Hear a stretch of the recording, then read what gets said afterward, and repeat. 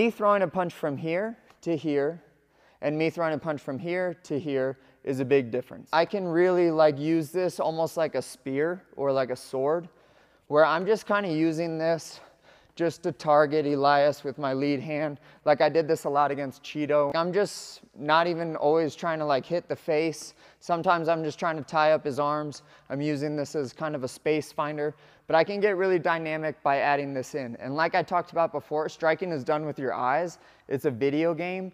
So if we're playing this video game and I'm constantly just throwing input at Elias, that can make the video game a lot harder once we start adding in like shots that are like meant to be there to hurt people.